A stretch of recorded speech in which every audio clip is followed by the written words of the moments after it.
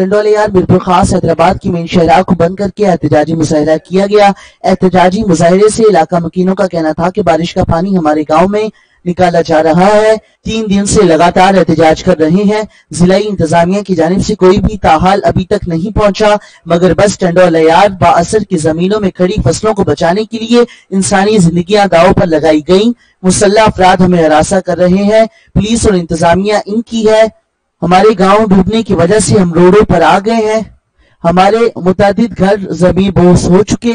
हम खुले आसमान तले बेयारो मददगार बैठे हैं। दो घंटे रोड ब्लॉक करने के बाद मुजाहिरी ने एस एच ओ मसन फहीम यूसुफ जई की यकीन दहाई पर रोड खोल दिया। कैमरा टीम के साथ Tariq Hameed Abbasi H N news चंडोलियार